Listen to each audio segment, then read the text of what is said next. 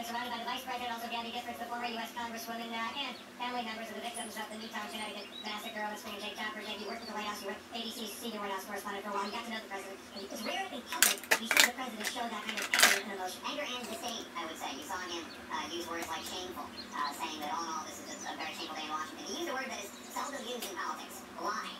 Uh, people in Washington uh, say almost every possible synonym for lies except for lie. But he said they accused uh, gun uh, rights groups of lying about what was in the legislation. Uh, and he, he, he was, uh, his was, was angry. As he said, he was, uh, he invested something in this legislation passing, and something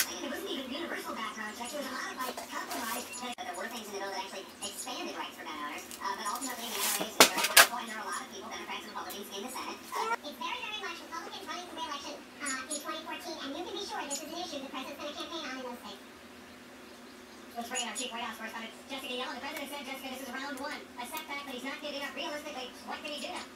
Well, while we're here talking about this, the president is heading out to have dinner with Democratic senators, and he is focused now on the Democrats' agenda.